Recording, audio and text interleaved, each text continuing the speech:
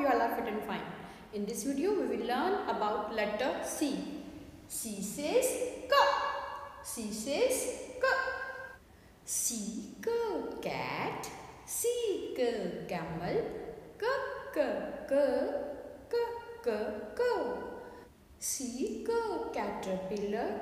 C K carrot. K K K K K K. Now I will show you some object related to C.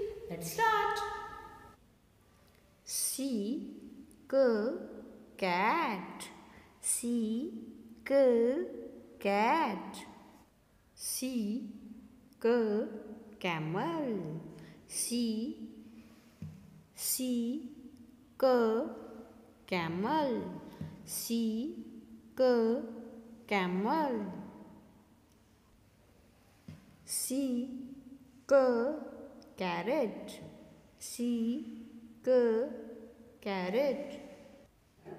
C K caterpillar.